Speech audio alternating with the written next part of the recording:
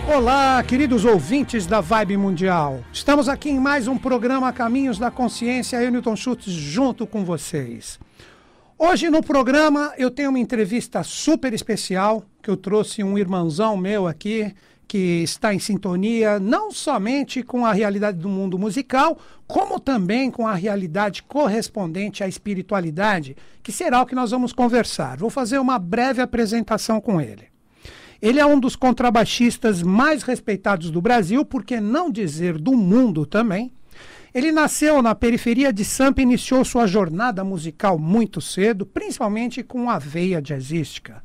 Ganhou rapidamente espaço e destaque, nas noites paulistanas e o seu trabalho ganhou proeminência chegando a turnês nos Estados Unidos com músicos brasileiros e também músicos de lá. Hoje o seu trabalho está firmado como contrabaixista da banda do Ed Mota, que é o local onde ele expressa o seu trabalho junto de muitas coisas. Que vocês vão ficar sabendo agora dele. Apresento para vocês Fernando Rosa.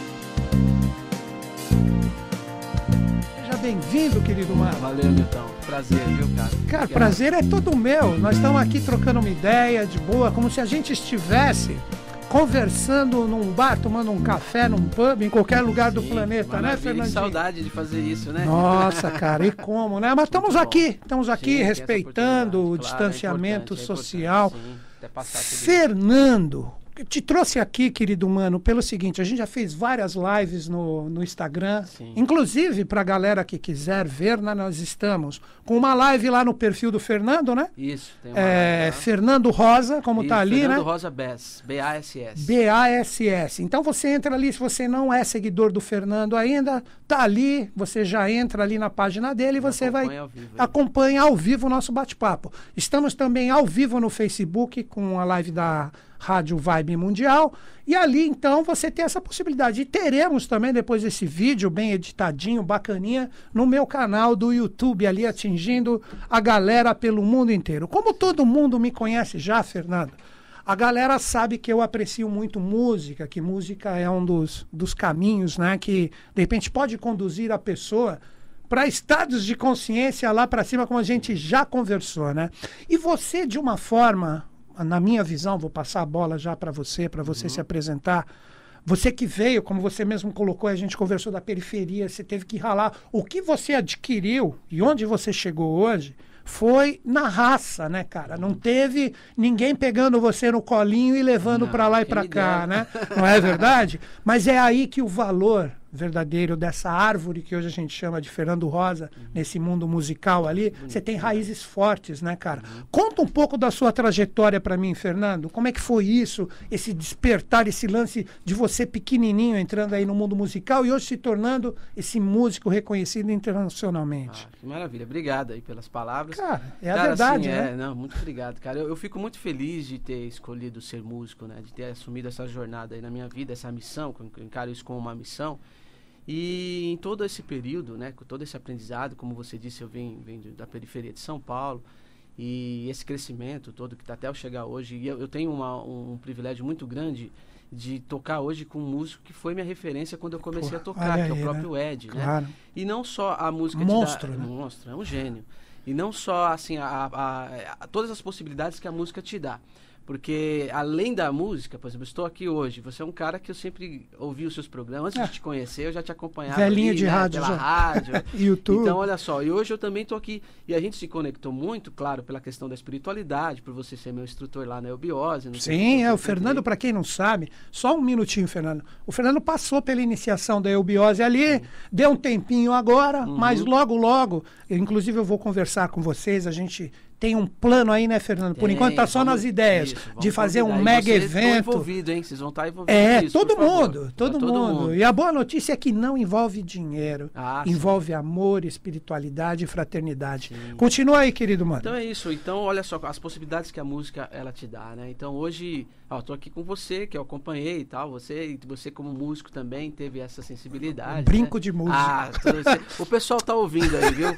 Eles não sabem do que eu tô falando. Vamos lá, vamos lá vamos lá, legal, Fernando. tocando, sabe tudo também. Fã do, do, do LED, né? Urra, cara, rock desde pequeno. É. Mudou minha vida o rock, Então, mudou. só. E a música. Assim como o jazz pra você, né? Sim, Não assim foi? Como o jazz e a música tem esse poder. Eu acredito que a música ela pode mudar a vida. E assim, a música ela não é algo assim apenas para você lidar é, com as notas, com os acordes, mas é, é trazer a música para dentro da sua vida. Porque quando você fala em harmonia, que existe na música, você pode ter harmonia na sua vida. Você Opa! pode ter uma vida com mais melodia.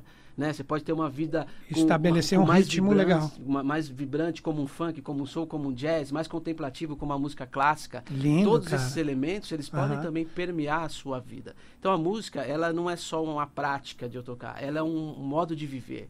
Ela pode trazer você em conexão com, o- com o divino, com o seu eu interior, com a sua força. Ó, que lindo interna. isso, Então acho que tudo isso a música ela te brinda. Então eu sou muito feliz de ter escolhido essa jornada e assim trilhei todo esse caminho, claro. Você mundo, resolveu ser você mesmo, né, cara? Sim. Independente do sistema. Independente do Não estou sendo revolucionário aqui, mas é a verdade, porque realidade, quando você fala, né? Você sabe disso. Quando você fala assim, eu vou ser músico, é, hoje, hoje a gente já tem uma mudança disso, assim, já está já tá mais consolidado o lance da música. Mas há muitos anos atrás, quando eu comecei, você Nossa. falava que ia ser músico, Nossa. né? Era, até na ditadura, o cara que andava com violão na rua era preso. É, sinônimo né? de pobreza e de, ser um né? revolucionário. Você não quer fazer nada, você é o cara, Sim, pé sim. pra cima, cabeça pra Aham, cima e mundo na, na Mudou, cabeça. mudou agora. Então, assim, o músico, você vai, você é músico, não, mas você não vai trabalhar, né? Você não vai. e, cara, assim, é, escolher ser músico ou, qualquer outra arte, eu falo da música, mas qualquer arte. Porque né? a arte, cara, não sei se você lembra a gente conversando no Neobiose, existem sete novos raios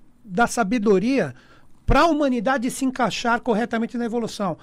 O raio lunar, em correspondência com os nossos signos solares, que você é canceriano como Sim, eu, canceriano. solar, representa o raio das artes, cara. Então, a arte representa hoje, para mim, um sétimo da projeção divina para a humanidade Olha que despertar, cara. Olha- então, olha que legal, por isso que eu trouxe você aqui, porque para mim hoje você é um dos caras que de repente pode ajudar a contribuir nessa mudança toda pela abertura que você tem para essas realidades sutis, não ficar preso Sim. só nessa nessa ilusão do nosso Eu mundo físico, né? É, e a música não é só pra gente. Você quer ser músico pra quê, né? Às vezes você acha que a música é só pra você, pra você ficar tocando e as pessoas ficarem te aplaudindo.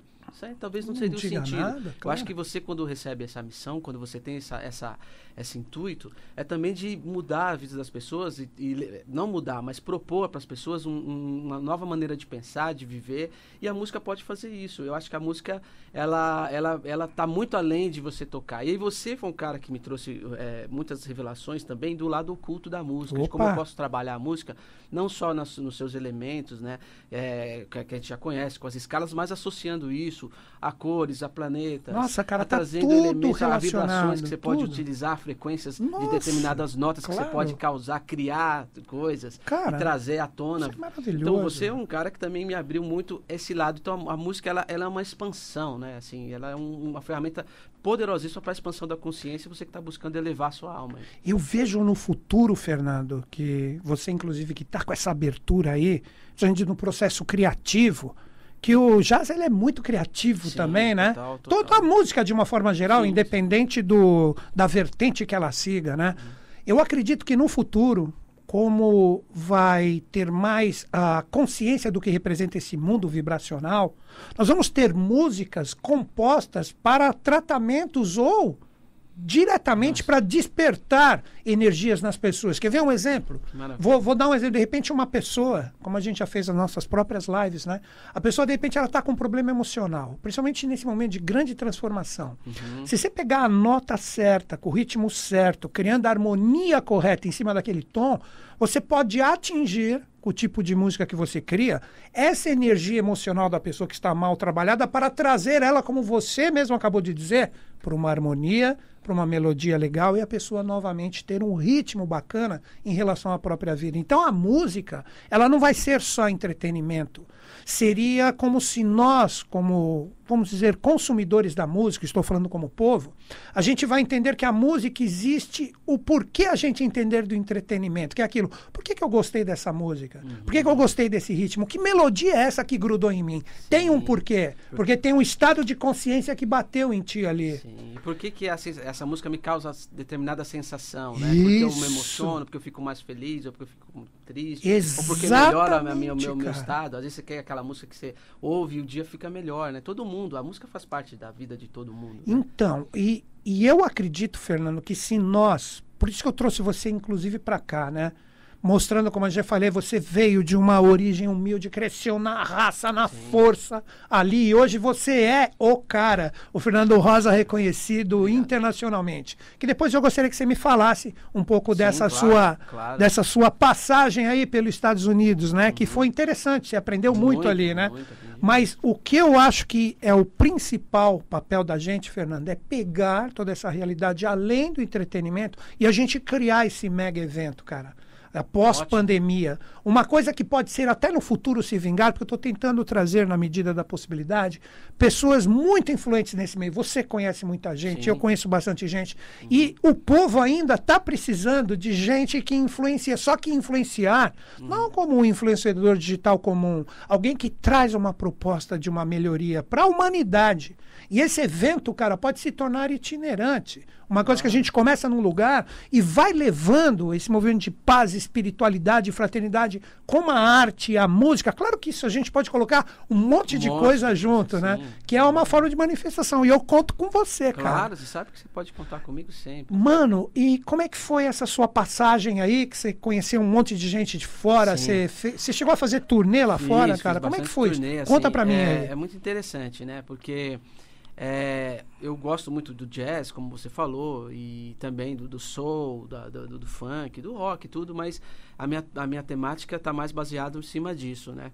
E esse é um, um, estilo que aconteceu no mundo inteiro, inclusive no Brasil também, mas as origens assim remontam aos Estados Unidos, né? A, Sim, a música é. afro, né? americana. Que tem a ver com uma história oculta, né? Os Estados Unidos cresceu tanto porque era para ter explodido lá o movimento, mas está vindo para cá já de uma forma geral. Então, Por isso que nós somos a bola da vez. É, nós somos como a bola 7 ali na é, sinuca agora. Né? Então, vamos fazer. Gente, né? Vamos fazer, cara. vamos assumir esse papel aí. Tem, vamos, alguém tem que fazer. Isso, alguém tem que fazer, é, cara. É, e quem tiver junto com a gente, ó, já, já procura, vamos, vamos se unir, porque essa força aí, se a gente trazer mesmo essa manifestação, cara, não vai ter para ninguém, então, imagina. Então, a ideia é essa, cara. cara. a ideia é essa, mas uma manifestação na paz, na cultura, na, na música, claro. na informação, imagina. no conhecimento que pode se tornar prática na sabedoria. Fazer, né? A gente vai fazer com todas as vertentes musicais. A gente está falando de rock, de jazz, tudo. de tudo, cara, de poesia, mas tudo, pintura, tudo, tudo, tudo, cara. Outros, né? E gêneros é. musicais também, uhum. o samba,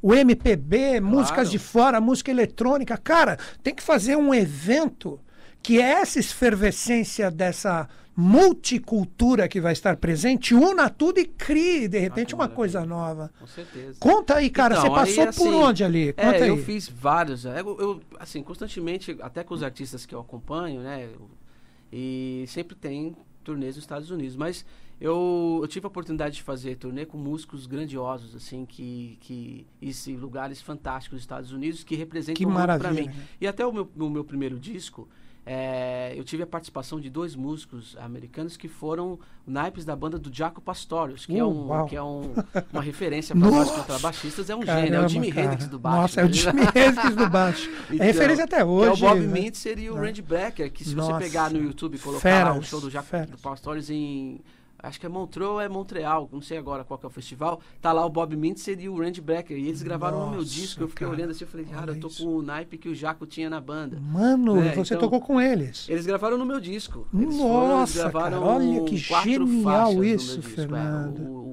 Bob Mintzer gravou três e o Randy Brecker gravou. E você continua em contato com essa galera, Fernando? Como é então, que ficou isso? Nessa fase do disco eu tava falando mais, né? Agora eu sei como é, as coisas acabam ficando e, um pouco Mas assim, né? sempre que precisar, e aí se você precisar fazer uma turnê, alguma coisa, qualquer tipo de gravação, a gente tem, tem Porque um contato, o, que, o que eu imagino, cara, agora entrando nesse meu lado da, da espiritualidade, uhum. desse desse movimento que a gente pretende criar aí, que a galera vai cobrar e a gente vai ter que fazer. Vai, Já é, estamos assumindo aqui para milhares de ouvintes, depois de YouTube e redes, esse negócio ganha.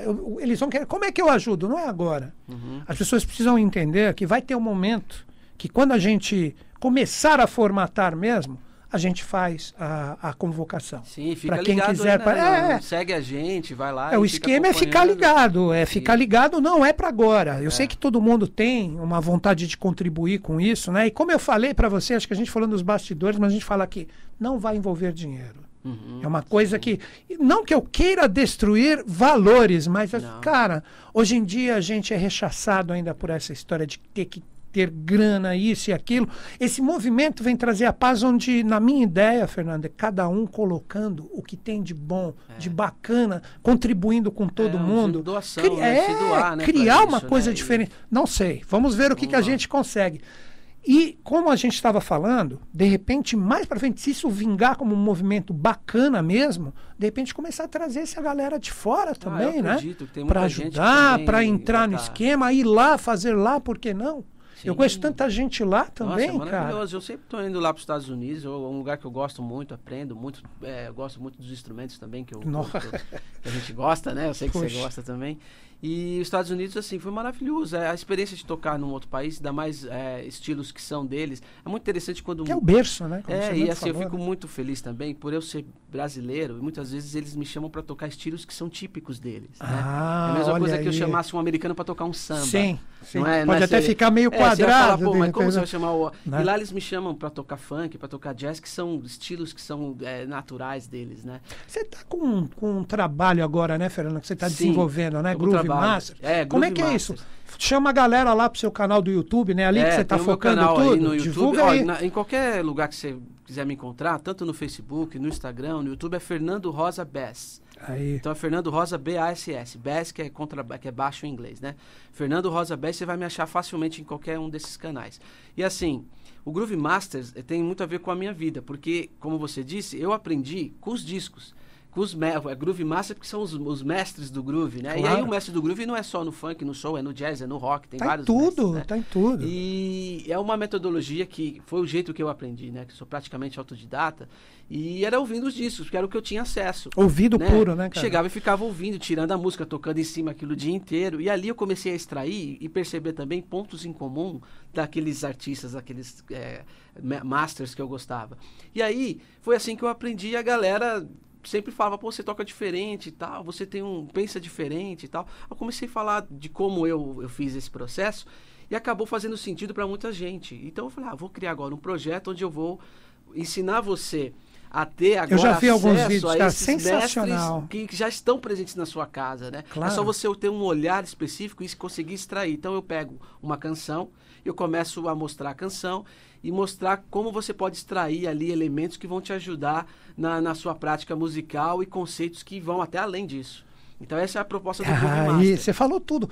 Todas essas dicas, que eu já assisti alguns vídeos seus ali, você dando a dica, ó, você ouve mais, para não é só você tirar a nota. Exato, é o que você falou. Exato. É tipo assim, você tira a nota, mas quando você toca, fala, não tá não igual. Por quê? É, não porque tá não porque a interpretação, né?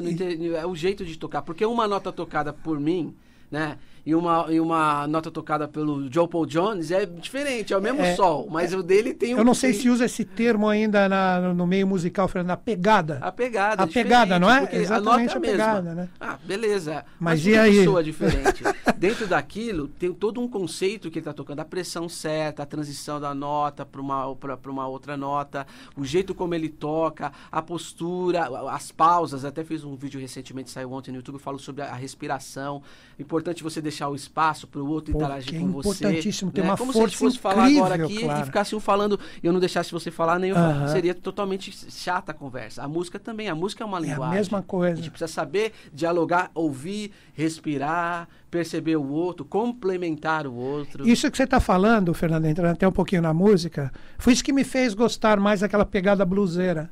Em vez uhum. daquela coisa mas nada contra nenhum estilo, onde você pega e quanto mais nota você colocar numa improvisação, melhor você é muito longe disso. É. Aquele bend bem colocado, é, aquela pausa, aquele sustain que você deixa, cara, cara isso tem um poder incrível. Faz né? total diferença. Que tem tudo a ver com o próprio ritmo da evolução das pessoas. Olha como a música encaixa Olha nisso, aí. fazendo só uma pausinha aí para continuar, Fernando. Por favor.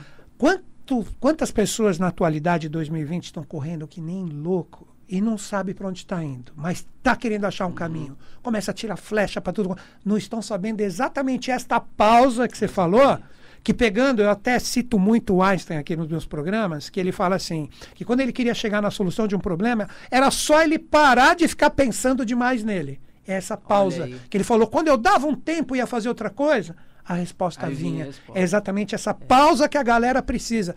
Por isso, cara, que eu trouxe você aqui nessa nossa conversa, a gente vai procurar colocar tudo isso em prática nesses eventos, não só música também, como a gente está trocando ideia aqui, a gente pode estar tá trocando ideia com 10, 20 mil pessoas ouvindo a pois gente, é. ou nas redes sociais, ou ao vivo. Cara, são conceitos que trazem essa beleza da música, que é como a gente iniciou o programa, essa coisa da gente, pô, por que, que eu curti demais essa música. Uhum. Não é só o ritmo, é a harmonia, a melodia e o ritmo. Sim. A harmonia, a melodia e o ritmo, é que é espiritual e corpo, que representa essa inspiração que entra na espiritualidade, Uau. que a gente vai procurar transmutar isso, Fernando, numa linguagem acessível para todo mundo ter a vida melhor através das artes. É, e a gente usa essa linguagem, a gente pergunta pro outro, qual que é o seu ritmo de vida? A gente Pô, não fala? O tempo inteiro, a gente está falando aí, qual é o seu ritmo diário? Olha como você está falando de ritmo, né? E esse ritmo está descompassado, ele tá, como é que ele está?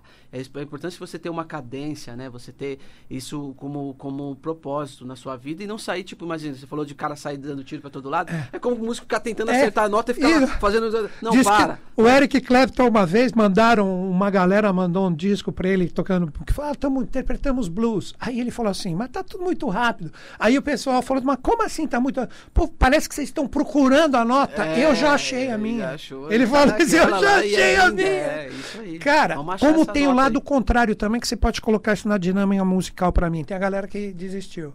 Uhum. Que de repente no dia diz, tomei muita porrada, quer saber, vou ficar em casa não quero saber mais de nada. A galera parou, ela ficou na pausa. Ficou na, na música a gente não tem também, quando a gente está tocando, aquela hora que a gente cresce. E aí o pessoal entra numa né? frase muito comum, o pessoal acha, virou clichê essa frase, que o menos é mais. Nem sempre. Menos, às vezes é menos mesmo, que tem hora que esse, você tem que tocar mais. E aí a hora você tem que estar preparado Não é? Você tem que ter todo, acho que a gente tem na vida vários picos, né? Eu acho que a gente tem fases e tem momentos na hora vida de que acelerar, você tem que, hora de frear, agir, tem hora que você tem que ficar parado. E a música também, então né? a música tem isso. Aí vai ter aquele momento que até acontece muito nos no, no, no, shows com o Ed Mota, que ele chama a gente para fazer um solo. Ah, eu, eu não vi, vou ficar na pausa, né? Ah, você vezes. foi no show, Pô, agora eu tô tendo prazer de retribuir aqui minha presença. Não, mas estamos falando com a então, galera, estamos falando e com assim, a galera. imagina, eu tô lá no show do Ed, aí ele vai lá, Fernando, aí eu fico lá ah, assim, não, eu vou ter que tocar, eu vou ter que falar, é o momento de eu falar. Mas é quer ver uma coisa também que a gente pode até colocar com o momento atual da galera, Fernando? O, o, o respeito. Em que sentido? O, o exemplo como você citou o Ed. Fernando, é você. A galera vai segurar.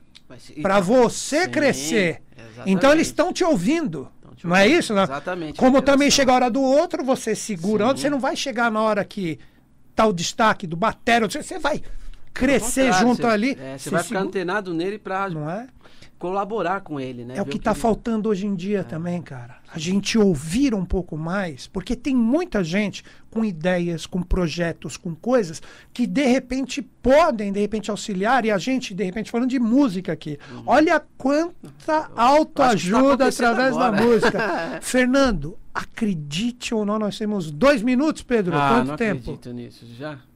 Dois minutinhos, dois um minuto e pouco. Cara, Nossa, não falei que ia cara, voar? Voou, não deu para falar quase nada. Fernando, você quer divulgar alguma coisa do seu trabalho? Só que tem que ser ligeiro, rapidinho, cara. ó, eu tenho o Groove Masters, esse projeto, se você quiser me seguir, eu YouTube. já falei, né? No YouTube, no Facebook, tem um, tem um grupo no Telegram também, Instagram.